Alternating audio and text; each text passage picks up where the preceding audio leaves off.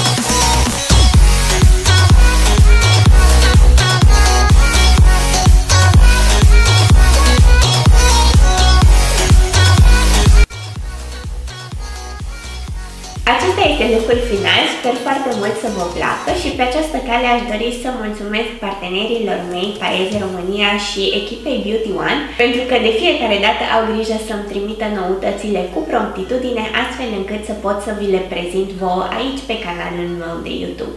Nu uitați de like și de subscribe și ne revedem la videoclipul următor.